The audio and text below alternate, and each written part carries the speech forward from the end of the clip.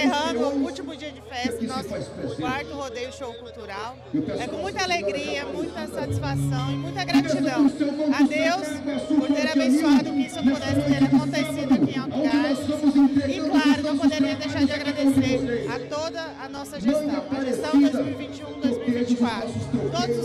Secretários que trabalharam incansavelmente para que isso acontecesse. Através dele, a todos os demais funcionários, todos os servidores da prefeitura envolvidos que ajudaram. Não se faz uma festa dessa, não se organiza uma festa dessa sozinho. Então a gente acaba envolvendo a todas as secretarias, servidores que vestem a camisa e ajudam para que isso acontecesse. Quero agradecer também ao evento Rebolsas, né, através do Gileno, que também nos ajudou a fazer com que isso acontecesse. Nunca tinha tido aqui em Alto Garças desse, desse tamanho, né? Uma estrutura dessa. Então nós precisamos é, agradecer a todos os envolvidos. Né?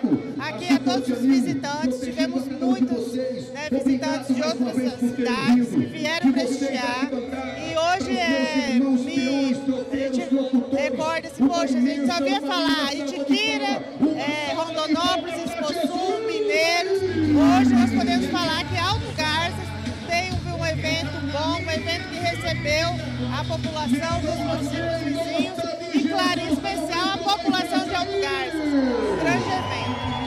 E um evento como esse, tão grande, já deixa a população numa expectativa boa para o próximo ano. pois é, vamos preparar o próximo ano também, né, com essa grandiosidade que foi, a população de Alto Garças merece. Mas, claro, né, como responsabilidade, nós temos que gerir a nossa cidade, então isso gera uma responsabilidade, né, porque não é só o evento, né, nós precisamos né, das demais é, situações do município. Mas tenho certeza que o ano que vem será grande também, igual foi. Um evento maravilhoso para toda a população, né, para receber os nossos é, visitantes dos municípios vizinhos. E só pedir para que Deus abençoe que ocorra tudo bem. Hoje especial, né, agora na, na, nas finais aqui, temos a prova dos três tambores. Aconteceu durante o dia, a gente estava presente. É uma prova um esporte né, que é bonito de se ver, né? Tem crianças, adultos, mulheres, né? Como é importante aí, vamos falar um pouquinho das mulheres que são é, fortes, determinadas, estão aqui concorrendo à prova de três tambores. Temos a, a, a, dos carneiros também, que as crianças, é uma alegria de ver. E, claro, né, os que são, fizeram o show, que são as montarias de todos. Né? Então, assim, a gente só tem a agradecer a todos que participaram, que vieram participar. Temos ainda o show Rick Rene ainda para acontecer. Como foi os outros deles, eu tenho certeza que esse não, não será diferente Será um sucesso de show que vai agradar a toda a população. Bom, a senhora mencionou agora há pouco sobre esta junção que tem na equipe da gestão de, aqui na cidade de Alto Garças. Essa é a diferença dessa gestão, fazendo com que a cidade de Alto Garças seja reconhecida através dessa união que existe. Sim, eu acredito nisso, né?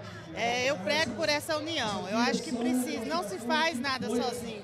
Não se trabalha uma secretaria sozinho. Né? Tem que haver união. Eu cobro muito isso, né? de que todos estamos sempre presentes. As decisões são tomadas juntos, os problemas são resolvidos juntos. E eu acho que é isso que faz a diferença da nossa gestão, para que aconteçam as coisas da melhor forma possível. Então, tudo é feito com muito amor, com muito carinho, com muita dedicação para ficar o evento o melhor possível para a população. Então, eu acho que essa é a diferença.